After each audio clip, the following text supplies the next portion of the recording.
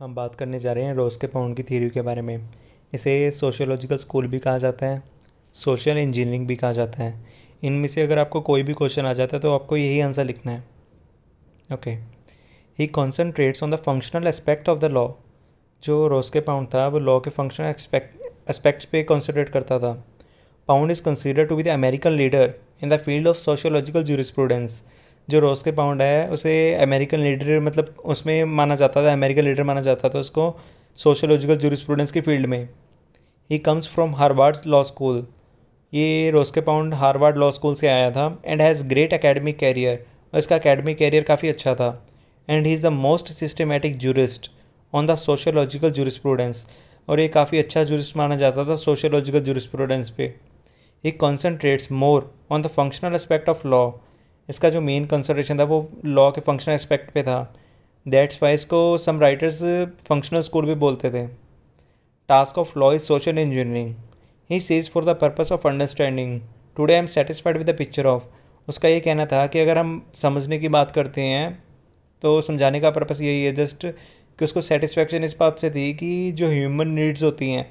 satisfying as much of the whole of body of human wants as we may इसका कहने का मतलब ये था, जो भी ह्यूमन की नीड्स होती हैं ह्यूमन वांट्स होती हैं, उसको सेटिस्फाई करना विद लीस्ट सेक्रीफाइस मतलब कम से कम सेक्रीफाइस करके। जैसे हम बोलते हैं, कोई भी सामान है, कम से कम उसमें कॉस्टिंग होनी चाहिए और उसमें प्रॉफिट ज़्यादा होना चाहिए like that I am content to think of the law as social institution to satisfy social bonds इसमें इसने ये बताया है कि जो भी सोशल बॉन्ड्स होती हैं, उसको पूरा करना विद मतलब एटलीस्ट सेक्रीफाइस करके, कम से कम सेक्रीफाइस करके। The claims and demands of civilize society सारे सोसाइटी की जो भी मतलब नीड्स होती हैं we should satisfy them maximum with least sacrifice मतलब हमें ह्यूमन नीड्स जो भी है ह्यूमन वांट्स हैं, जो सोसाइटी की वांट्स हैं सोसाइटी की नीड्स हैं, हमें वो ज़्यादा से ज़्यादा उनको सेटिस्फेक्शन देनी है और कम से कम सेक्रीफाइस करके। Social engineering means the balance between competing interest in the society social engineering का मतलब ये होता है कि कंपीटिंग इंटरेस्ट होता है जो सोसाइटी में, उसको बैलेंस करना, उसको बैलेंस में रखना। He says that jurist must work with plan इसमें इसने ये बताया कि जूरिस्ट को हमेशा प्लान के हिसाब से काम करना चाहिए। Social social engineering means balance between the competing interest in the society social engineering का मतलब ये होता है कि मतलब कंपीटिंग इंटरेस्ट जो सोसाइटी का होता है, उसमें बैलेंस बना कर रखना। ही थिंक्स दैट उसका ये कहना था, उसका ये सोचना था it is the duty of jurist to classify the interest to be protected by law इसमें ये बता रहा है कि जो जूरिस्ट की ड्यूटी होती है इंटरेस्ट को मतलब क्लासीफाई करने की और उसको प्रोटेक्ट करने की क्लासीफाई करके प्रोटेक्ट करने की लॉ के ज़रिए। He classifies them under three heads उसने जो भी इंटरेस्ट तीन हेड्स में बांटे हैं private interest public interest social interest सबसे पहले हम बात करें प्राइवेट इंटरेस्ट की। The private interest is to be protected by law are इसमें प्राइवेट इंटरेस्ट में ये बताया गया है कि ये कैसे कैसे प्रोटेक्ट किया जाएगा लॉ के ज़रिए। The individuals interest of personality namely reputation अगर हम रेपुटेशन की बात करते हैं, जो आजकल हम बोलते हैं गुडविल या रेपुटेशन जो इंडिविजुअल्स की होती है। Freedom of conscience freedom of violation they are protected by criminal law जो भी मतलब रेपुटेशन होती है या उनका कहीं इधर उधर आना जाना होता है या और भी कोई जो उनको राइट्स दिए गए होते हैं, वो प्रोटेक्ट होते हैं क्रिमिनल लॉ से। Namely if he is attacked the accused will be punished अगर उस पर किसी ने भी अटैक किया तो जिसने अटैक किया, उसको पनिशमेंट दी जाएगी according to criminal law law of torts namely if any civil wrong done to him law of torts में डैमेजेस दिलवाई जाती हैं, अगर उसके साथ कोई भी सिविल रॉन्ग करता है। For example his reputation is attacked by the ne- attacked or by the negligence of the defendant under the law of torts. इसमें ये बताया गया कि अगर ए की रेपुटेशन बी ने मतलब कुछ ऐसा काम किया जिससे ए की रेपुटेशन पे अटैक हुआ है, या बी की गलती की वजह से ए की रेपुटेशन गई है तो he can file the suit for compensation तो जो ए है वो सूट फ़ाइल कर सकता है बी के अगेंस्ट कंपनसेशन क्लेम करने के लिए. Law of torts law of sorry law of contract If he enters into the contract with a third person who commits a breach of contract, he can file suit against him for damages under the Indian contract act इसमें बताया गया है कि अगर law of contract के according जैसे वो contract में एंटर हुआ किसी के साथ ए बी के साथ कॉन्ट्रैक्ट में एंटर हुआ है और अगर बी ने ब्रीच मतलब कॉन्ट्रैक्ट ब्रीच कर दिया कॉन्ट्रैक्ट तोड़ दिया he can file suit against him तो जो ए है वो बी पे सूट फ़ाइल कर सकता है डैमेजेस क्लेम करने के लिए इंडियन कॉन्ट्रैक्ट के according the individual interest in domestic relations this includes marriage relation of husband and wife children and claims to maintenance parents इसमें ये बताया गया है कि जो भी डोमेस्टिक रिलेशंस हैं, उनके इंटरेस्ट जो इंडिविजुअल के रिलेशंस होते हैं डोमेस्टिक इंटरेस्ट के लिए, उसको ये प्रोटेक्ट वगैरह करता है।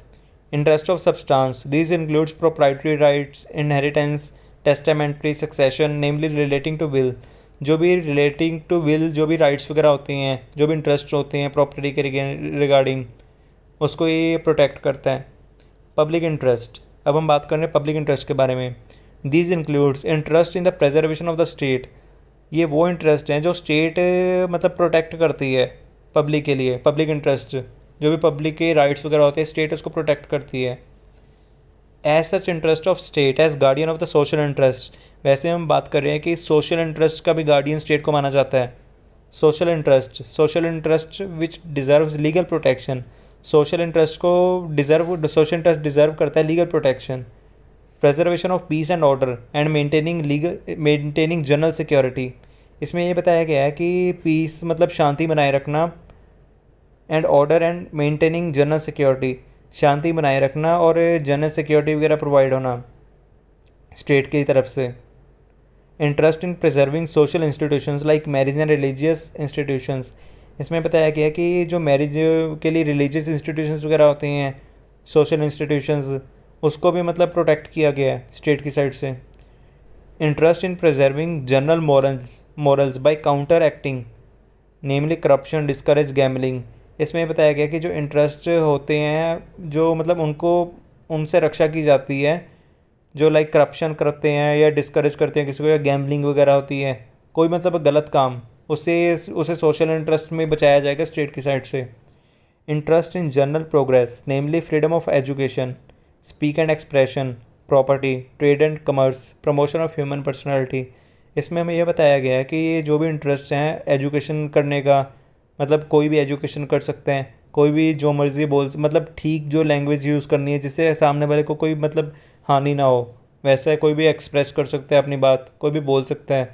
प्रॉपर्टी वगैरह कोई परचेज कर सकता है ट्रेड एंड कमर्स कोई बिज़नेस कर सकता है, इसे ये सारे इंटरेस्ट को स्टेट वगैरह जो होती है, वो प्रोटेक्ट करती है लॉ के साइड से लॉ लॉ के साथ। Pound says that states that a generation ago Pound ने एक जनरेशन पहले ये कहा था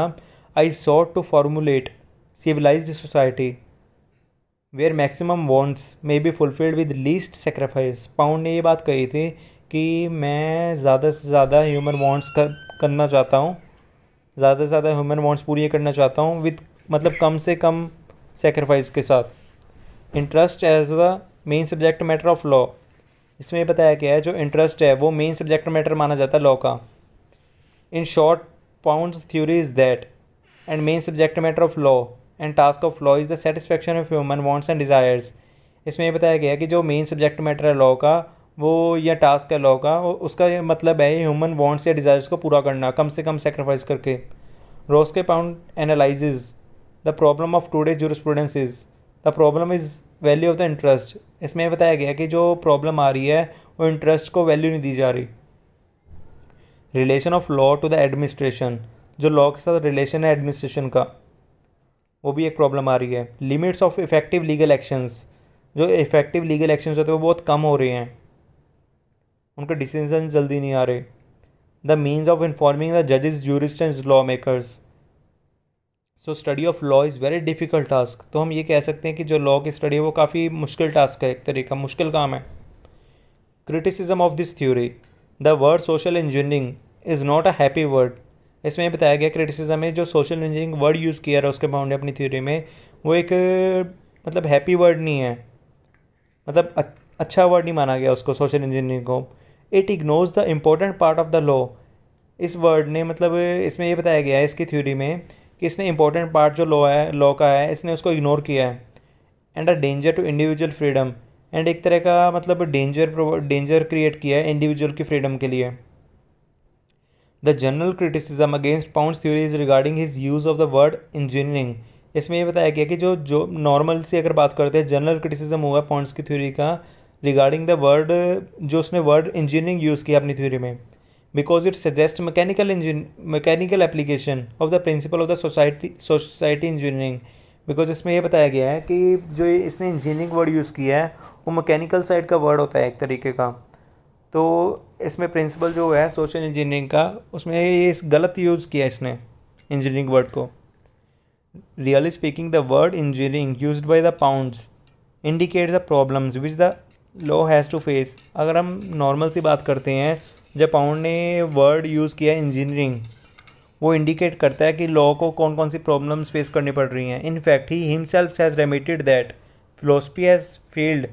to provide the needs of the people